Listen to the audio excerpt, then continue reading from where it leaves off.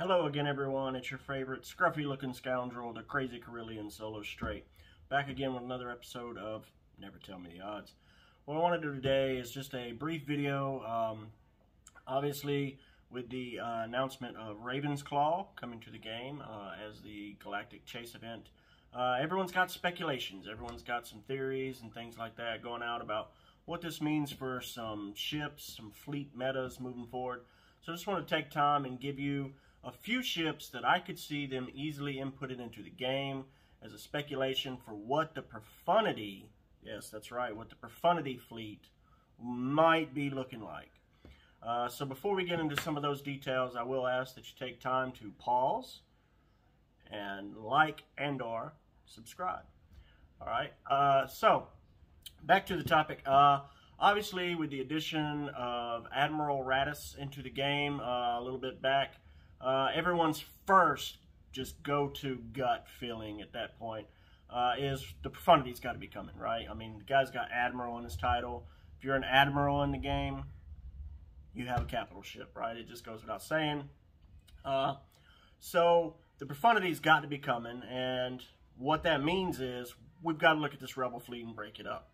So let's go ahead and do a synopsis of what we've seen in the game this far. Uh, so we got Dash Rendar's Outrider in the game. Again, he's not a rebel. The ship is. He's also a scoundrel. Uh, that's going to be kind of important when you look at uh, the new ship that got announced, the Raven Claw, because the Raven's Claw has anti-scoundrel rebel synergy. So it's kind of a weird little mixed bag, if you will, with this rebel fleet. The Raven's Claw specifically having synergy with Home 1, uh, meaning that it's going to have to be with Home 1, so something's going to have to come out of the Home 1 fleet uh, to go to the Profundity.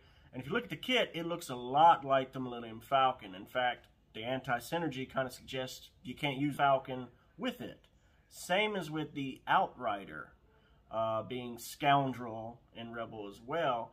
So I don't see the Outrider being in the Home 1 fleet, so it must be in Profundity. It will be coming. Uh, you got your first two ships in the Outrider and the Millennium Falcon, the Scoundrel Rebels, if you will. But what ships might you get with it? Uh, so there's a lot of speculation out there. Uh, I want to go ahead and call out the worst kept secret in CG, and that would be the addition of the A-Wing. That's right, I think we'll be getting the A-Wing here soon coming up. Uh, could be a Conquest exclusive ship. Uh, don't know. Of course, we're wrapping up the, the Malgus Conquest right now. We don't know what the next character is going to be or ship.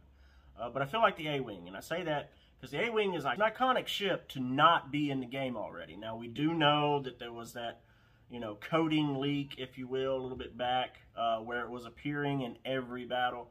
So I just feel like, obviously, worst kept secret in the game. A-Wing's got to be coming. Uh, the hot fix that took it back out, you don't see it anymore, doesn't mean that they're not going to release it. So I feel like we're definitely be getting the A-Wing. And I want to talk a, bit, a little bit of history about that, about why I feel like the Profundity is where the A-Wing is going to be going and not to Home 1.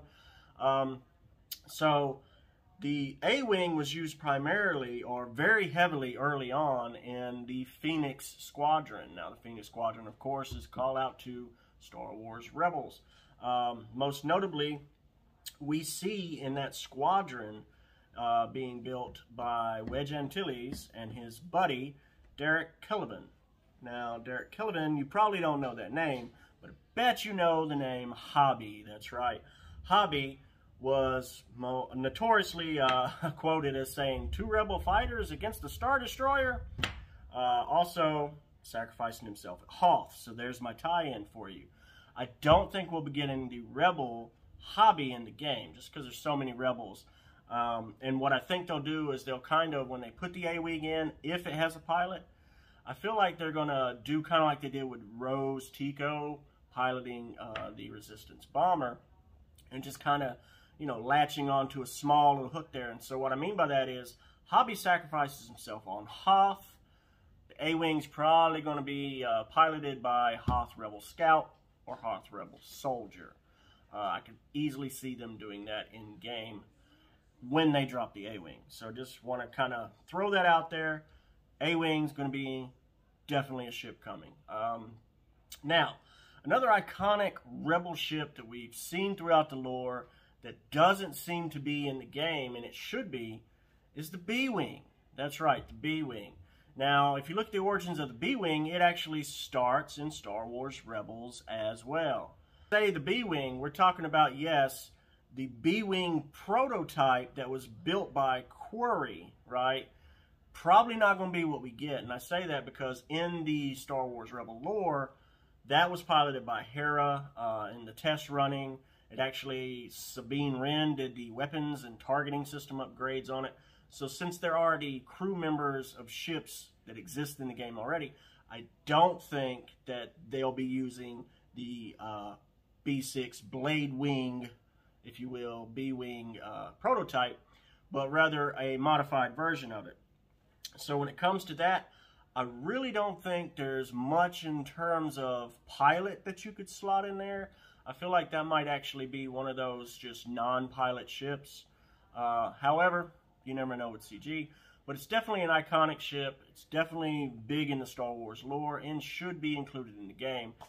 That's going to bring me to the actual ship I most think we're definitely need to be getting in the game and should be getting and will be getting. And that's going to be a tank, right? The Profundity is going to need a tank. And what better tank than something actually tied to the Profundity? That's right. I'm going to talk about the SW-0608 Imperial Cargo Shuttle. Now, how does an Imperial ship fit into this, right? How is an Imperial ship going to be under the Profundity? Well, this is the exact Imperial ship that was stolen that's right, stolen by Bodhi Rook. Twice. Man stole it twice. So, what I feel like is going to happen is we're finally going to get the pilot of Rogue One. I'm the pilot. He's finally going to get his own ship. We're finally going to see that in game.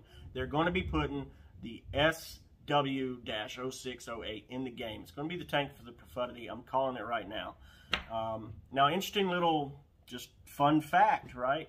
Uh, for those of you who didn't know, the screenwriter for Rogue One named the SW0608 after his son. Um, so his son's initials are SW, and the 0608, his son's birthday, so June 8th. Uh, so that's just kind of a fun little tidbit of lore there.